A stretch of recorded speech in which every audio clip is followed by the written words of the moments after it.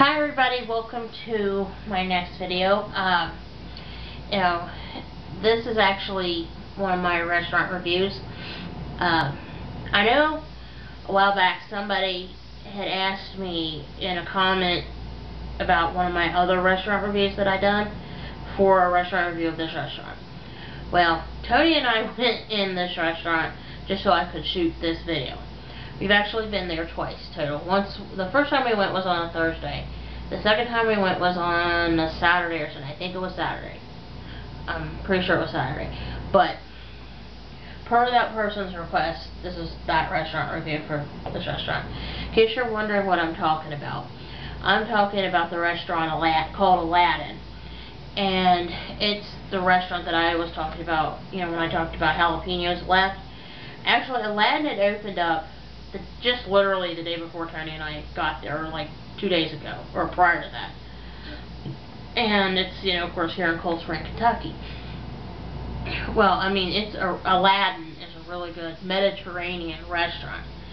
Um, here's actually the take-home menu. Um, it says restaurant cafe. Um, it says hookah, or it says hookah bar people will probably, like they do with Guys and Dolls, misinterpret what that means. Uh, you know, hookah bar, it's a hookah bar. It's just purely for the hookah part. Not like bar as in you go and get pie kind of thing. Um, yeah, they're, this is an actual dry restaurant, meaning they don't serve any alcohol at all.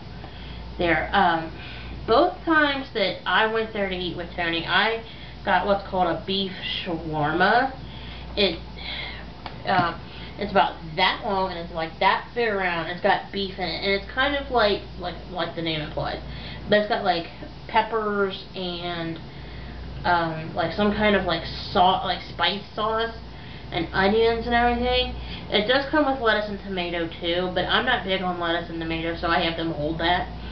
Uh,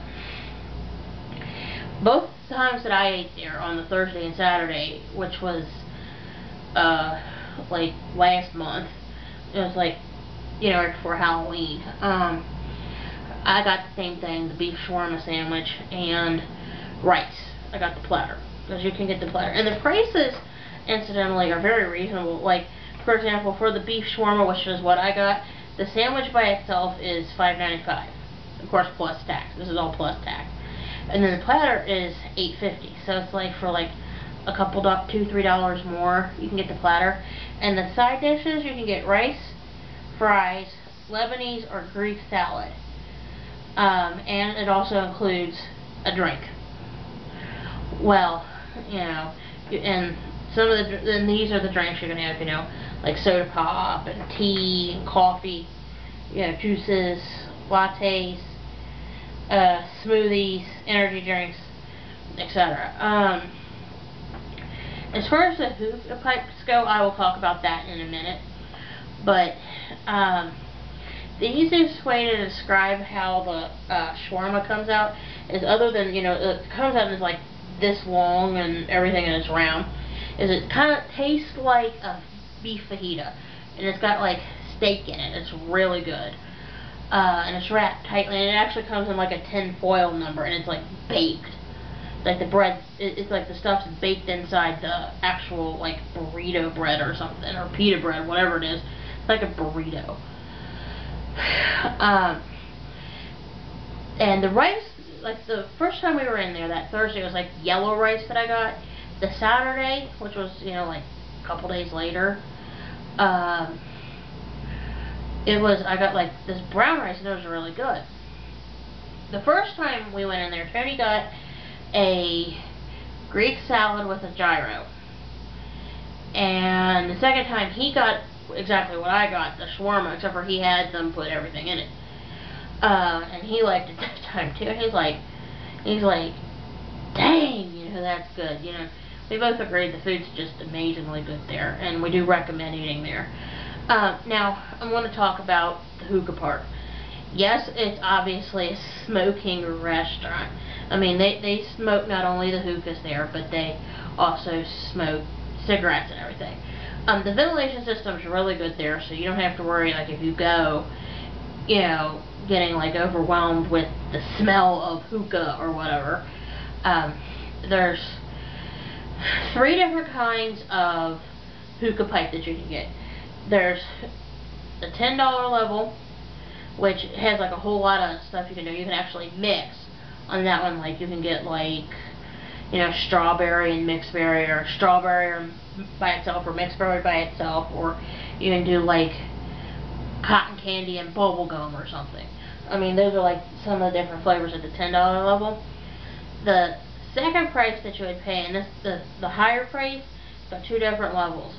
The second price level is thirteen dollars, and you can get like the the higher grade tobacco or the premium level. The premium level has like three to four types, but the middle one, the higher grade tobacco, is actually you can have like there's like not quite as many as the ten dollar one, but more than the higher stuff where it has like three or four. Um, you know, it's a little more involved in. I mean, granted, they bring the hookahs already put together for you, and it's like they set it on the floor, and they also bring out these like little like stick things that you can stick inside the hookah and smoke. Uh, you know, the first time we went in there on that Thursday, Tony and I did not get a hookah. Hookah. Can't talk tonight. Hookah because we weren't really looking to do that that night. We were just basically in there to check it out. Um, you know, and we were just like, you know, well, let's just do it to, you know, do it. That, and, you know, we we got so sidetracked with whatever it was that we got into that night that we just didn't have time to really cook ourselves supper, or we would have. The second time we went there, which was like on a Saturday afternoon, well, yeah, we got a hookah pipe the second time, and well, we beat the piss out of it. I mean, we um, really abused the privilege. And when I say abuse the privilege, I'm talking like me and him smoked six coals of tobacco, and the coals are like that big and about that big around. Um, they're, they're not very big. I mean, you can go through them like that. You know, I mean, the first one we went through, and the girl comes over and says, you know, your coal's dead. and we're like, it is? Okay, we didn't know. Know, we didn't. I mean, that was like the first time we'd ever smoked a hookah. Um, you know, we sm ended up smoking six coals of tobacco and we sat there for like three or four hours smoking six six coals of tobacco. I mean, we're like, you know, um, our hookah, by the way, the ten dollar hookah actually was rainbow colors. Like if you've ever seen a hookah pipe, um, you know, there's like the hose is like you know like the top part. You know, like you put the coal on the top part, and then there's like as you go down, there's like a spot where the hoses come out. The the hose we had was black, like part of it, and the the end that we held onto was rainbow colored and it had like black ends on it and then like a green mouthpiece. Um, it's actually pretty interesting to smoke. It's you have to suck it in. You know, we didn't know that until they told. Or we figured it out after messing with it. I mean, we are pretty ridiculous looking. Um, but uh, I do really recommend it. I mean, and like I said before, if you're, you know, if you don't want to go there and smoke the hookah or anything, you know, don't. I mean, nobody's going to make you. I mean, they'll ask you if you want one, you know, if, if you're looking at it. Uh, but, you know, the, it's not, the smoke is not so, like, heavy and thick that it's, like, obnoxious. Like I said, the restaurant's got a really good ventilation system. They also, and in case you're interested, they actually play um, Arabic music videos and stuff. I mean, Tony and I were listening to it, and we're sitting by the TV. We couldn't understand too much of what was being said, but, you know, it was not like obnoxious music either. Um, but we do really recommend eating at Aladdin if you go. Um, their address, in case you want it, is 4135 Alexandria Pike, and it's where, like I mentioned, the jalapenos is. So I'm going to pause here because I have another restaurant review to do, and we'll get going, alright? So hang on.